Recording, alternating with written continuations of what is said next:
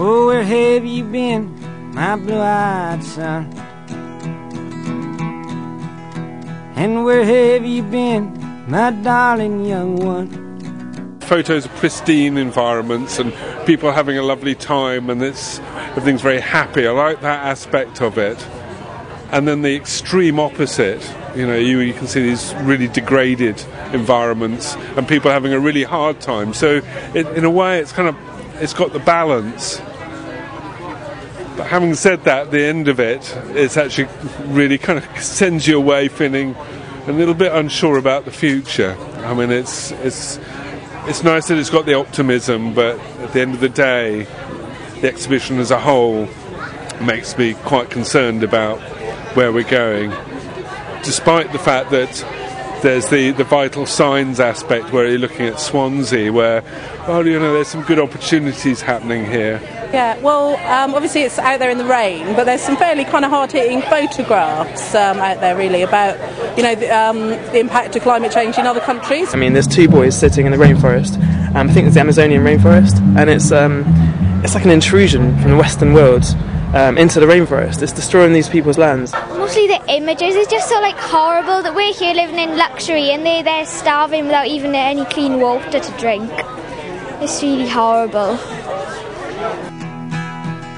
Where the people are many and their hands are all empty. And it's been interesting actually coming looking at with my son.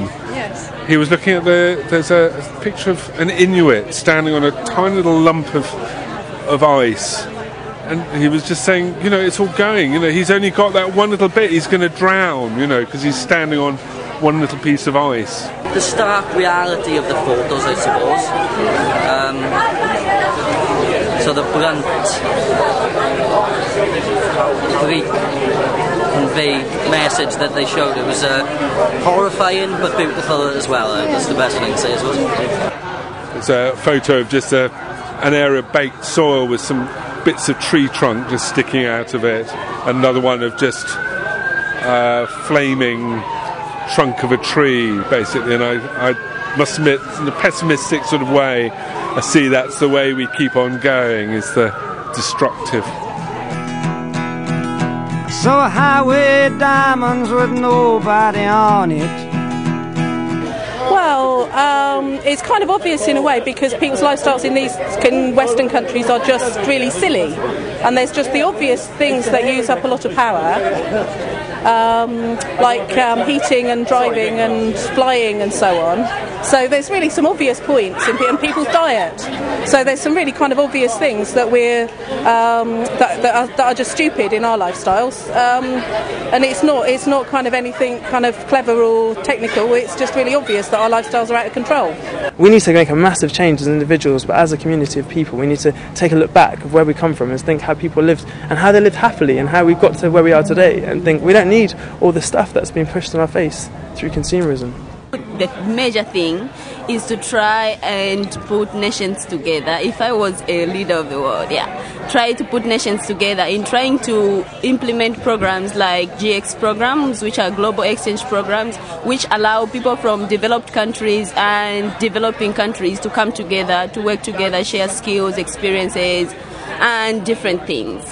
And most uh, to involve the young people in decision making bodies. Yeah, like they should be actively participating in all levels of decision making, starting from the lowest level of decisions to the highest. Yeah, that's what I would want to see. Well, I think um, ultimately we need government to to uh, control and and legislate in the right direction. So I think it's really up to us as individuals to pressurize government to move in the right direction. And so, with lots of different organisations, I'd see them all pressurising in, in the same in the same line. Um, there's not like one solution, one big plan. I don't think that.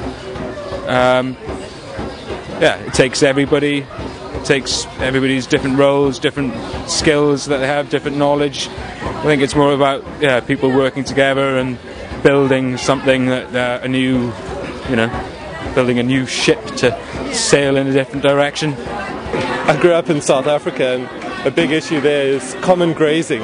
And so each individual family obviously wants to have as many cattle and use the common grazing as much as possible, but there isn't enough grazing for everyone. So I really see it as needing to coordinate our natural resources, make sure that they adequately controlled at a, at a coordinated level, and make sure that individual families and households have the incentive to look after the whole. And I'll tell it and speak it and think it and breathe it.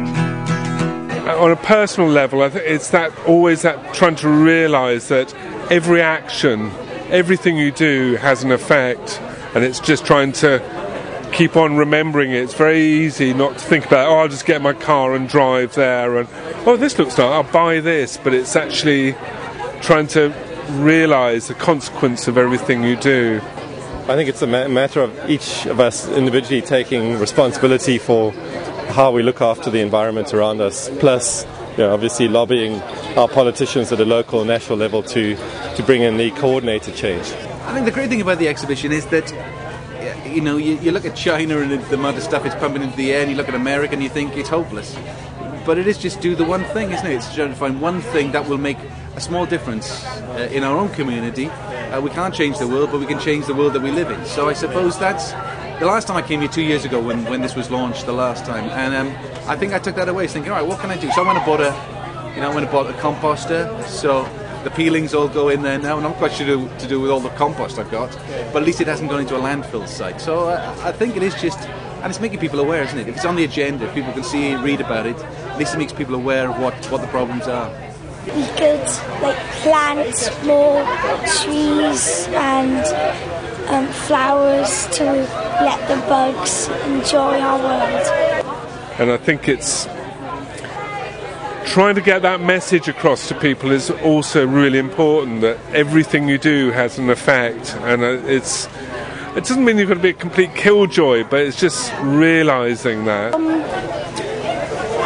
well okay I'm already, I already don't drive don't fly and I'm vegan and I think that's what everyone should do. So what I need to do is be really happy and comfortable with those things and persuade other people to do the same.